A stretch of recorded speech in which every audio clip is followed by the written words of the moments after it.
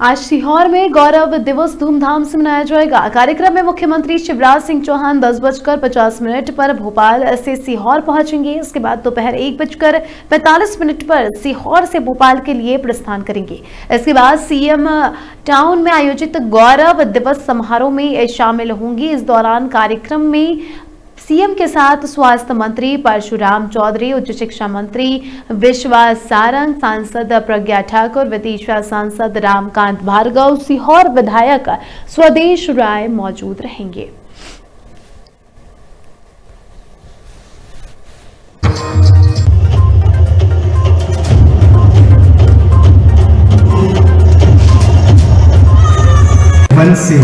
वापस आएँगे। आप यहाँ से अयोध्या के लिए वापस चले जाएँ।